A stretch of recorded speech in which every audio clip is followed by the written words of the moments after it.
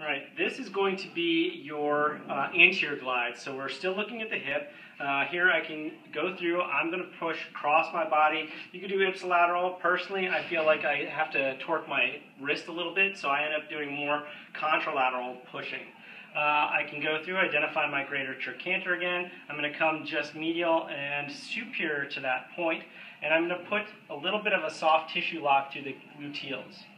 Uh, from there, it's just a pure anterior yet slightly medial force that you're mobilizing the hip joint with. You can increase the uh, force that you're putting through there by using some lever arms. Um, so the first lever arm would actually be instead of being at that hip joint, coming down more towards the gluteal fold. Let your leg rest for me.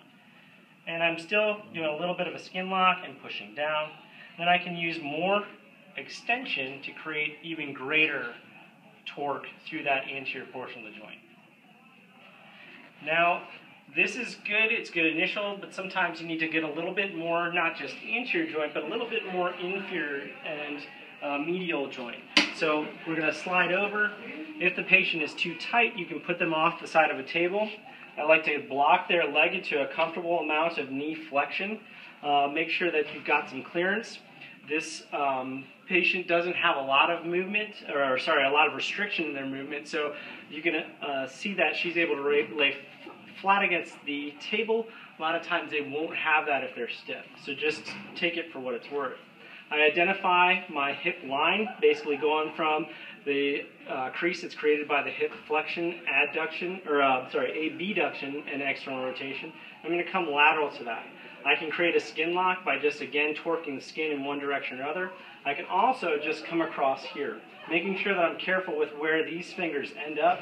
And then my glide is going to be initially straight uh, down and slightly medial, but then I'm going to work around until I feel the direction that I have the most restriction.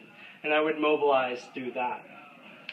Once you get to the point where you no longer need the uh, stool, slide back to the center, please. You can do the same technique on the table. Uh, again, looking for the direction where you have the most limitation in that movement, and that's where you would mobilize through.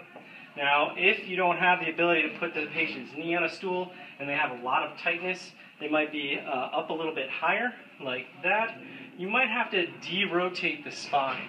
And that can be done simply by putting a pillow underneath half that person's body. That way you normalize the rotation in the spine and are able to go through and do the same mobilization as before.